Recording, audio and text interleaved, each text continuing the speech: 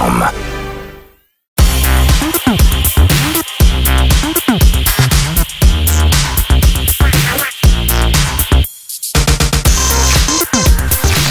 Dzisiaj jesteśmy w miejscu, które jest raczej niedostępne dla skuterów. Dlaczego?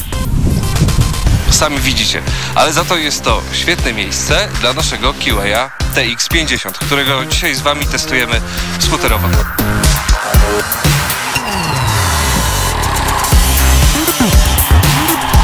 Zaskakuje, to niesamowita dynamika silnika o pojemności 50 cm. Wyobraźcie sobie, że tutaj jest 5 przełożeń, z czego na jedynce można jechać góra 20 na godzinę. O czym to świadczy? O tym, że niesamowita jest moc przekazywana na koła. Sami zobaczcie. Popatrzcie na te ogromne koła.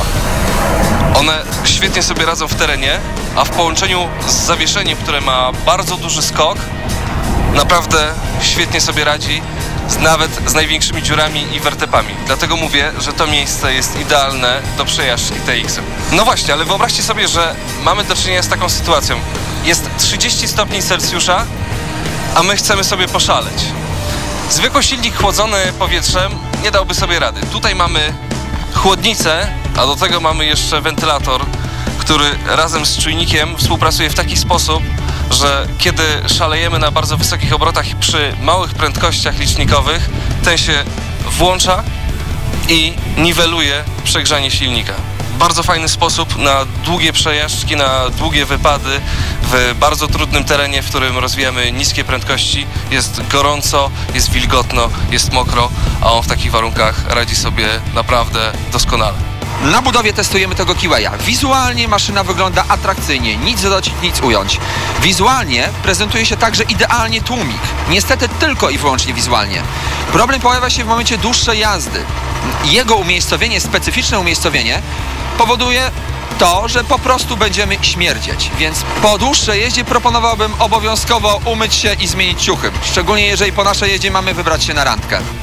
Z rzeczy, na które warto zwrócić uwagę, y, to na pewno hamulce tarczowe. Z przodu jest potężna wręcz tarcza, potężny hamulec, bardzo wydajny, y, który w połączeniu z tak miękkim i z tak y, mm, dużym zawieszeniem, w sensie oczywiście jego zakresu pracy, sprawia, że przód po prostu pływa. To y, podczas ruchu miejskiego nie jest y, za fajnym rozwiązaniem, za fajnym y, uczuciem, na przykład przy nagłym zatrzymywaniu naszego TX-a. Z tyłu hamulec jest bardzo wydajny, można powiedzieć wręcz za wydajny.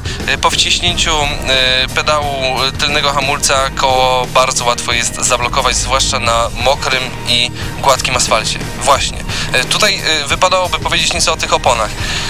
Zaskakujące jest to, że one tak szybko tracą przyczepność w połączeniu z tą masą.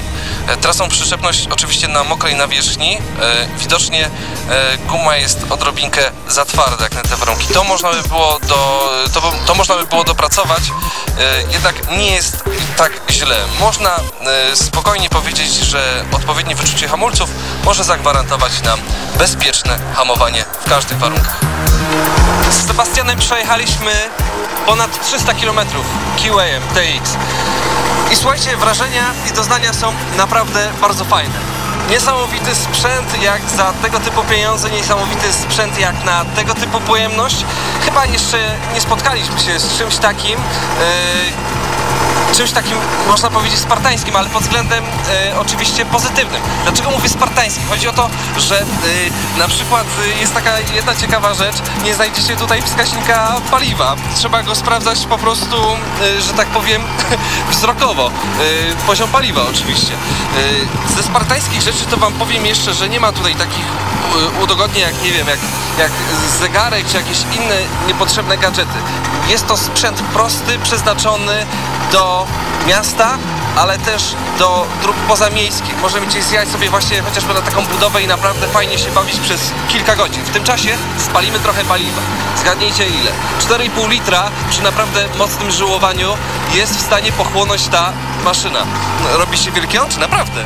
Naprawdę, 4,5 litra nam wyszło. Zbiornik jest co prawda duży, no ale jednak 4,5 litra w dzisiejszych czasach y, spalają y, małe diesle. No ale małymi dieslami nie poszalejemy y, w tak urokliwych miejscach jak chociażby te. Z fajnych detali powiem Wam, że jak widzieliście, z tyłu mamy lampy LEDowe, nowocześnie to wygląda, a zarazem jest bardzo praktyczne i wpływa na nasze bezpieczeństwo. Jesteśmy widoczni wyraźnie i jesteśmy widoczni z daleka. Dla kogo to jest maszyna? Najważniejsze pytanie. Dla każdego, komu nudzi się skuter podczas codziennego użytkowania i czasami w weekendy chce zjechać sobie gdzieś na bok i poszaleć. Do tego ta maszyna jest naprawdę, naprawdę idealna.